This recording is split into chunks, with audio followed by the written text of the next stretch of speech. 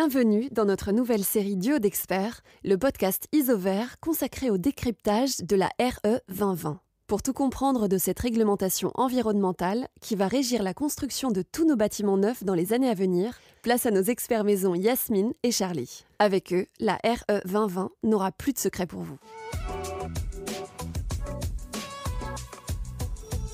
Bonjour Yasmine, prête pour un nouvel épisode sur la RE 2020 Bonjour Charlie, oui j'avais hâte de te retrouver à nouveau sur ce sujet, surtout que l'on va parler des indicateurs environnementaux aujourd'hui. Tout à fait, et je te propose que nous échangions sur la partie carbone, en particulier sur l'indicateur IC Construction. Beau programme, et on pourra compter sur les éclairages de Lucille au cours de notre conversation. C'est la directrice développement durable et RSE, Gyps Isolation de Saint-Gobain France, qui regroupe notamment les marques Isover, Placo et Isonat. Parfait, alors, avant que Lucille arrive, comment tu résumerais ce nouvel indicateur IC Construction? Je dirais que cet indicateur évalue le rapport poids-impact carbone de tous les produits et équipements qui composent le bâtiment via son analyse de cycle de vie. Tu te doutes que je vais te demander en quoi cela consiste une analyse de cycle de vie? Eh bien, le Bureau d'études thermiques, BET en abrégé, en charge de l'étude du projet de construction, va recenser et calculer les émissions de CO2 de chaque produit, système et équipement qui vont être mis en œuvre dans le bâtiment. Par exemple, le BET devra connaître le détail de chaque lot, comme la quantité de béton et le ferraillage pour les fondations, ou le nombre de mètres carrés et les types de cloisons, les mètres carrés des systèmes d'isolation, de peinture, etc. C'est un travail de précision. Et n'oublions pas que l'indicateur IC Construction, c'est un indicateur réglementé, c'est-à-dire avec un seuil maximal à ne pas dépasser. C'est d'ailleurs une des grandes nouveautés de la RE 2020. Chaque bâtiment neuf devra donc évaluer son poids carbone afin de rester sous ce seuil. Oui, c'est un beau challenge pour l'ensemble de la filière. Là encore, la RE 2020 a été bien pensée, puisque les exigences de l'indicateur IC Construction seront progressives dans le temps. Le seuil se renforce à partir de 2025, puis en 2028 et en 2031. Ce qui signifie que la RE 2020 va bien faire baisser le poids carbone des constructions neuves tout au long de son application. Ça va laisser un temps d'apprentissage à l'ensemble de la filière de la construction pour un sujet qui est nouveau. C'est intéressant en tout cas, car après l'analyse du poids carbone de notre nourriture ou de nos billets d'avion par exemple, on va pouvoir connaître le poids carbone des bâtiments que l'on habitera et fréquentera demain. Maintenant, Charlie, dis-nous comment le calcule cet indicateur IC Construction et surtout, qu'est-ce qu'une analyse de cycle de vie? Comme tu l'as dit plus tôt, pour calculer l'IC Construction, le Bureau d'études thermiques a besoin de connaître le métré et le détail des produits, systèmes et équipements qui composent le bâtiment. Pour réaliser l'analyse de cycle de vie du bâtiment, que l'on appelle aussi l'ACV bâtiment, il trouvera les données environnementales dont il a besoin dans la base IGNES, qui est une base en libre accès.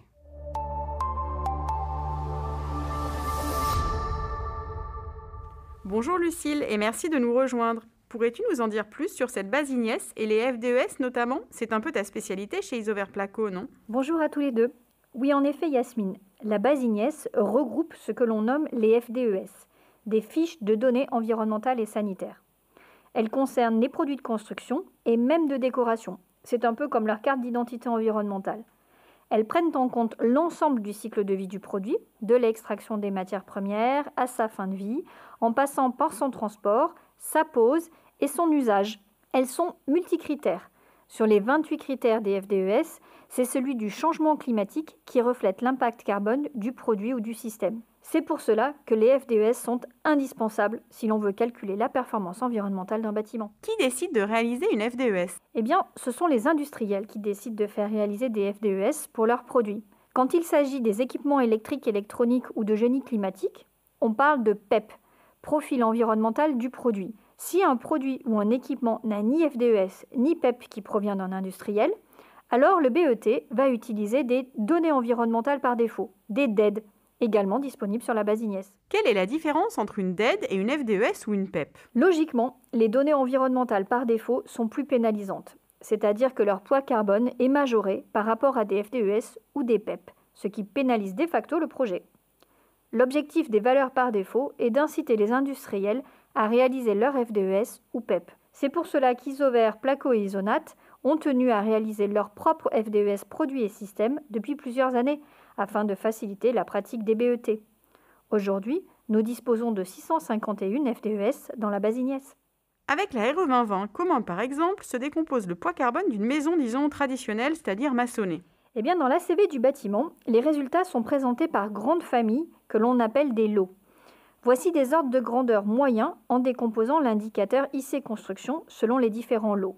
Pour une maison individuelle, 60% du poids carbone est réparti entre le lot 3, qui correspond à la maçonnerie, le lot 8, chauffage, ventilation, climatisation, donc les équipements, et le lot 10, courant fort lié au réseau électrique. Nos solutions isover placo-isonate sont comprises dans plusieurs lots, principalement dans le lot 5 relatif aux cloisons et doublages, et potentiellement dans le lot 4 relatif à la couverture, et le lot 6 qui correspond à la façade. Le lot 5 représente environ 5% du poids carbone en maison individuelle et en logement collectif traditionnel. Et oui, c'est relativement peu. Par exemple, la nature des isolants mis en œuvre a un impact négligeable sur l'indicateur IC Construction. Le poids des isolants représente en moyenne 2 à 3% du poids carbone total du bâtiment en maison et en logement collectif. Il y a un point dont on n'a pas parlé, Lucille. Ce sont les leviers pour atteindre les seuils 2025, 2028 et 2031 de la RE 2020. Aujourd'hui, il est trop tôt pour anticiper ces seuils, sauf à faire ce que l'on peut considérer comme du bas chaudage carbone. Dans une ACV en maison individuelle, il y a actuellement 35% du poids carbone qui est imputé à des données environnementales par défaut. La DHUP, c'est-à-dire le ministère de la Transition écologique et solidaire, estime un gain de 50 kg équivalent CO2 par mètre carré suite au remplacement de ces données par des FDES ou des PEP. Oui, et les FDES sont des outils d'amélioration continue pour les industriels, ce qui veut dire qu'à ce jour, anticiper les seuils à venir n'est pas opportun. Eh oui, comme la FDES est la photo des impacts environnementaux à l'instant T de la fabrication d'un produit ou d'un système, on ne peut pas anticiper les résultats des évolutions de production des industriels. Et puis il faut se laisser le temps de l'apprentissage. Les BET doivent apprendre à réaliser des ACV bâtiments, les industriels doivent tous créer leur FDES ou leur PEP. L'échéance du renforcement de 2025 laisse le temps à la filière de s'organiser. Mais il ne faut pas faiblir parce que ça va arriver très très vite. Et puis le risque de vouloir anticiper les seuils, c'est de regarder uniquement l'aspect carbone des produits et systèmes en occultant les autres incidences, comme sur l'acoustique ou le confort. Par exemple, si l'on passe d'une maison avec du carrelage à une maison avec du parquet massif, on va faire un gain de 8% sur le poids carbone total du bâtiment, ce qui est important mais il faut se poser la question du confort d'utilisation avec du parquet dans une cuisine ou dans une salle de bain. Le carbone est une des évolutions importantes de cette réglementation, tout comme le renforcement de la performance de l'enveloppe et une meilleure prise en compte de l'inconfort en été. Ce sont bien des signes envoyés par une filière responsable et consciente des enjeux climatiques actuels et à venir. Tu as raison, Lucille. C'est important de ne pas l'oublier. L'inconfort d'été, ce sera d'ailleurs le thème de notre prochain échange, n'est-ce pas, Charlie? Exact. Et on parlera de l'indicateur degré-heure, le DH. Merci à toutes les deux. À très vite. Merci à vous. C'était passionnant. À bientôt.